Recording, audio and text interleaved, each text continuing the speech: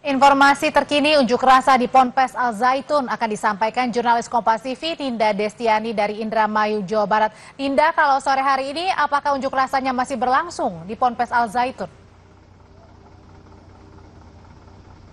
Selamat sore Audrey dan juga saudara. Betul sekali, ini sebetulnya memang baru selesai Audrey untuk aksi unjuk rasa yang dilakukan oleh masa atau demonstran yang mengatasnamakan Forum Solidaritas Dharma Ayu untuk melakukan aksi unjuk rasa ke depan Pondok Pesantren Al Zaitun Indramayu, Jawa Barat. Sekitar pukul 15 lebih 15 menit sudah selesai dan berangsur-angsur selesai. Namun saat ini Ya, seperti yang bisa Anda lihat di belakang saya masih ada beberapa pihak kepolisian, kemudian kendaraan-kendaraan yang melewati itu memang merupakan uh, selesainya, tanda selesainya aksi unjuk rasa yang diamankan oleh kepolisian, yang mana pihak kepolisian ini gabungan dari Polres Indramayu juga Polda Jawa Barat. Tadi kami sempat memantau sejak pagi hingga sore hari selesainya unjuk rasa ini disambut oleh masa dari pihak Ponpes Al Zaitun ini yang merupakan uh, masa uh, pendukung Ponpes Al Zaitun dari setiap sudut mana pun itu begitu Audrey dan juga saudara.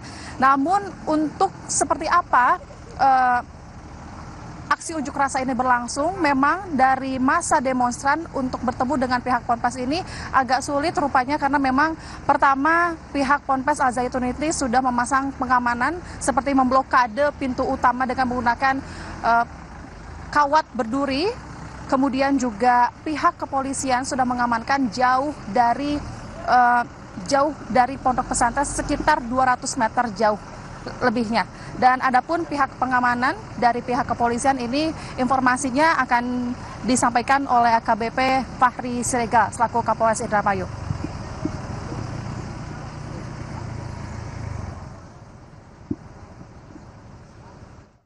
Tadi uh, saya bertemu dengan Forum dan juga Korlap dari Mas Aksi, Forum Solidaritas Dharma.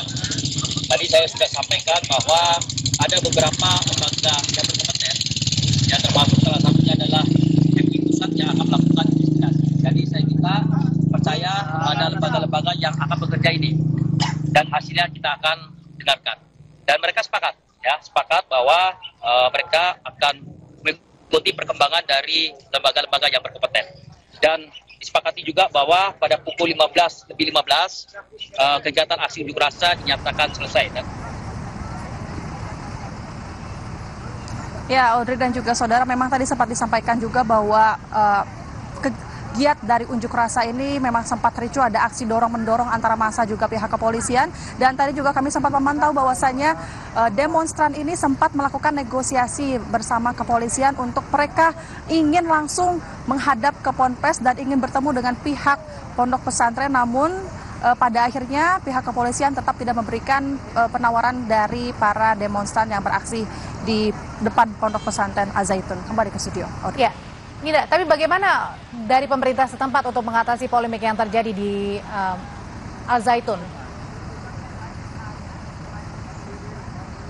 Ya Audrey, sebetulnya memang sejak terhitung kemarin dari pemerintah Provinsi Jawa Barat sudah membentuk tim investigasi yang melibatkan beberapa lembaga seperti MUI Jabar, Kemenak juga dan pemerintah setempat untuk melakukan investigasi secara langsung kepada Pondok Pesantren Al Zaitun Indramayu Jawa Barat ini dengan berbentuk dialog begitu. Namun sampai saat ini hingga saat ini kami masih belum mendapatkan informasi lebih terkait seperti apa proses investigasi sudah sampai mana saat ini dan kami juga sampai saat ini pun masih belum bertemu dengan tim investigasi apakah mereka sudah melakukan investigasi atau belum saat pada hari ini. Kami juga akan masih terus memantau seperti apa dan akan masih mencari informasi kebenarannya seperti apa. Audrey. Oke, uh, Ninda, kalau misalnya hari ini kan sudah selesai unjuk rasanya, apakah besok akan berlanjut lagi unjuk rasa di Ponpes Al Zaitunnya atau memang sudah selesai hari ini sudah clear semuanya? Ya, Audrey, ini bisa dibilang bahwa aksi unjuk rasa ini masih belum selesai. Audrey, kami masih belum mengetahui apakah rencana dari demonstran akan kembali ke Ponpes. Namun uh, kesimpulan di hari ini memang demonstran ini belum bertemu dengan pihak pondok pesantren dikarenakan adanya uh, perbatasan dari pihak Ponpes yang memasang blokade kemudian juga mengerahkan pihak kepolisian sehingga pihak kepolisian juga menerapkan peraturan yang sangat ketat sehingga para demonstran kesulitan untuk bertemu dengan pihak Pondok Pesantren Azaitun Jawa Barat. Kami nanti masih akan mencari informasi lebih lanjut. Audrey. Karena belum ada titik temu, kemungkinan besar demo akan dilanjutkan pada besok hari. Terima kasih laporannya jurnalis Kompas TV Ninda Destiani.